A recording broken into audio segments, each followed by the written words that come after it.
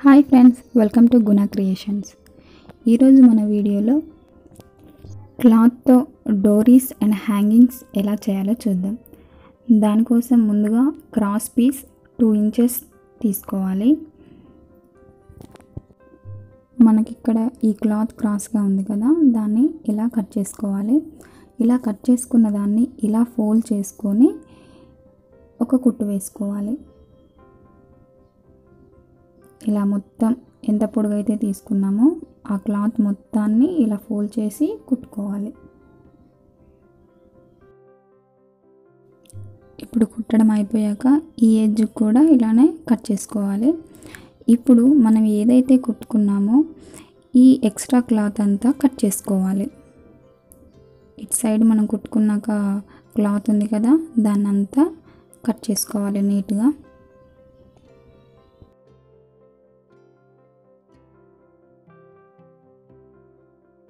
ఇలా మొత్తం కట్ చేసుకున్నాక ఇప్పుడు ఒక సూది దారం తీసుకొని ఈ ఎడ్జ్కి ఒక ముడి వేసుకోవాలి.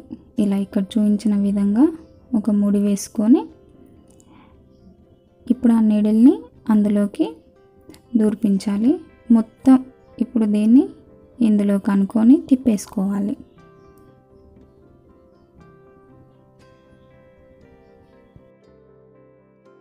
మొత్తం ఇలా తిప్పేసుకొని ఇలా లాగితే మనకి ఇలానే థ్రెడ్ అనేది వస్తుంది.